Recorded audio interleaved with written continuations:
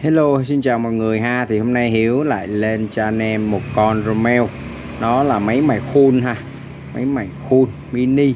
Con này nó là là à, xuất nhật ha. Thương hiệu thương hiệu của Mỹ ha. Made in Mexico. Và con này nó là hàng nội địa Điện 100V anh em ha Chứ không phải điện 220 Điện hàng nội địa ha. Máy rất là êm. Có cái công tắc cái, ờ, khi mà lên số 10 này nó hơi bị à, à, không được nhạy. Đó, nói chung mình nhấn nhấn xuống cho nó nó, nó, nó bám điện ha. Này là đó, hình trạng may sao Hiếu nói vậy. Đó, số 2 nè 3 nè 4 nè 5 nè 6 nè 8 9 10 nè. Đó dơ xong cái mình làm riết mấy lần là nó giờ số 10 được rồi đó.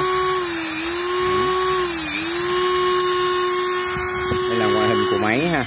Còn khá là chỉnh chu, vẫn còn quay đeo. Máy ok hết ha. Đây, hiểu quay rõ thông số tiếp cho anh em xem ha. Không? Xuất nhật là cái chữ thành chữ nhật không nè. Còn thông thường những này đa phần là xuất Mỹ là nhiều anh em ha. Model của nó là 3000 điện 100V không? Hàng chính hãng. Than hiếu thay mới luôn ha than đúng hãng của nó luôn.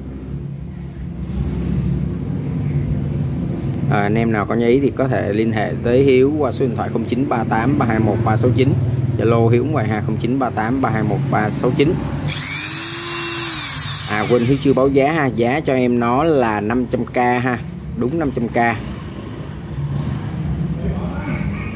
test lại nữa nè.